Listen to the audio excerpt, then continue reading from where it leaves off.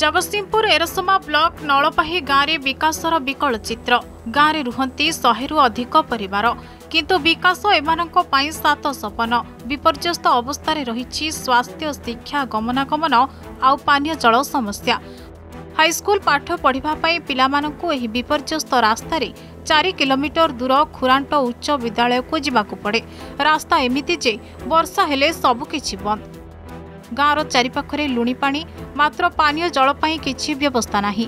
ଗାଁରେ ଗୋଟିଏ ନଳକୂପ ଅଛି ମାତ୍ର ସେଥିରୁ ବାହାରୁଛି ଆଇରନ୍ ଯୁକ୍ତ ପାଣି ପାଣି ସ୍କୁଲ ରାସ୍ତା ଏଇଟା ମାନେ ମେନ୍ ଏ ସମସ୍ୟା ବହୁତ ଦିନ ରହିଲେ ନିହାତି ପଚାଶ ବର୍ଷ ଖଣ୍ଡେ ହେଇଗଲେ ପ୍ରତିଶ୍ରୁତି ଦେବେ ଆମକୁ ଭୋଟ ବେଳେ ପ୍ରତିଶ୍ରୁତି ଦେବେ ଆମକୁ ଭୋଟ ଦିଅ ଗୋଡ଼ ହାତ ଧରି ଭୋଟ ନେଇଯିବେ ଆମକୁ ସାନ ହୁଅନ୍ତୁ ବା ବଡ଼ ହୁଅନ୍ତୁ ଗୋଡ଼ ହାତ ଧରି ଭୋଟ ନେଇଯିବେ ତାପରେ ଆମେ ଏଇଟା କରିଦେବୁ ସେଇଟା କରିଦେବୁ ଭୋଟ ପାଇଗଲେ ତାଙ୍କୁ ସେମାନଙ୍କୁ ଦେଖିବାକୁ ବି ମିଳିବନି କି ଆମ କଥା ବି ଭୁଲିଯିବେ ସେମାନେ। ଗାଁର ସମସ୍ତେ ହେଉଛନ୍ତି ଭୂମିହୀନ। ତେଣୁ ସରକାରଙ୍କ ତରଫରୁ କୌଣସି ସୁବିଧା ମିଳୁନାହିଁ।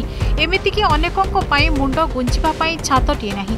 ଗାଁର ଶତାଧିକ ମହିଳା ମିଶି ସରକାରଙ୍କ ତରଫରୁ ଅଙ୍ଗନବାଡି ଘର ନିର୍ମାଣ କରିଥିଲେ। କିନ୍ତୁ ସରକାରୀ ବାବୁମାନେ ବିନା ପିସିରେ ବିଲ୍ କରିବେ ନାହିଁ ବୋଲି କହିଛନ୍ତି।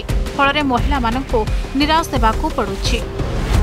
ଅଙ୍ଗନବାଡ଼ି ଘର ଦୀର୍ଘ ପାଞ୍ଚ ବର୍ଷ ହେଲା ଆମ ଗାଁକୁ ଆସିଛି କିଛି ହେଇପାରୁନଥିଲା ଆମେ ଆଠଟା ନଅଟା ଗ୍ରୁପ୍ର ମହିଳାମାନେ ବସିକି ଆଲୋଚନା କରି ଘର ଆରମ୍ଭ କଲୁ ଏବେ ଘର ଆରମ୍ଭ କଲା ପରେ ଆମେ ଆଉ ବିଲ୍ ପାଇପାରୁନୁ ଯେଇ କହୁଛନ୍ତି ଯେ ବିଲ୍ ହେଇପାରିବନି ବିଡିଓ ଚେୟାରମ୍ୟାନ୍ କେସିଆର କେଆରସି ଏମାନେ ସମସ୍ତେ ପିସି ଅଣାଅଶୀ ହଜାର ଟଙ୍କା ନେଲେ ଯାଇ ବିଲ୍ କରିଦେବେ ଆଉ ତୁମେ ଯଦି କେଉଁ ବାଗିଆ ଫାଇଲ୍ ମୋ ପାଖରୁ ନେଇକିରି ତାମ- ତାଙ୍କ ପାଖରୁ ଫି- ବିଲ୍ କରି ଆଣିବ ତାହେଲେ ମୋର କିଛି କହିବାର ନାହିଁ ତିରିଶ ବର୍ଷ ଭୋଟ ଦେଲୁ ସମସ୍ତେ କହୁଛନ୍ତି ରେକର୍ଡ ଦେବେ। ଦେଖିଲା ରେକର୍ଡ ନା ଫେକର୍ଡ ନା। ଯୋଉଠି ଗଲା ଠେଙ୍ଗା ବାଡ଼ି ଧରୁଛନ୍ତି। ଯାଅ ତମର କିଛି ନାହିଁ ତମର ହବନି।